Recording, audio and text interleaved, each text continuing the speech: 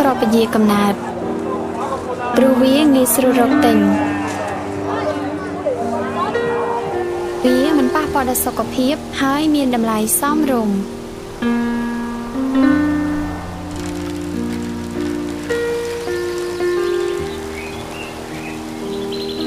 នៅពេលដែលប្រើវា គឺខ្ញុំមិនបាច់បារម្ភពីការមានផ្ទៃពោះទៀតទេ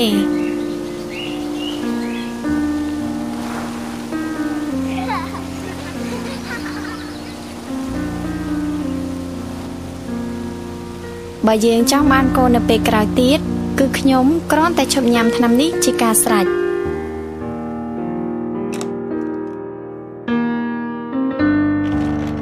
សំខាន់បំផុតខ្ញុំញ៉ាំថ្នាំក្របពញាកំណើតព្រោះខ្ញុំចង់បានជីវិតដ៏ប្រសើរមិនមែនសម្រាប់តែខ្ញុំម្នាក់ទេ